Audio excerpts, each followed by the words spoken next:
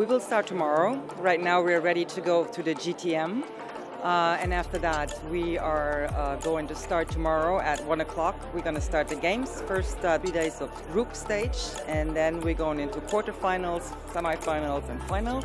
We hope to have a good crew. We have 16 men's teams and 12 women, so it's quite a lot. And we have three different venues where we will be there from 1 until uh, 10 at night. We are hoping that all the matches are going to be okay as level, as, but as always, we don't know because we don't know the teams. The teams are new every year, but uh, we hope, of course, that the finals will be perfect and that everybody will enjoy watching very good basketball.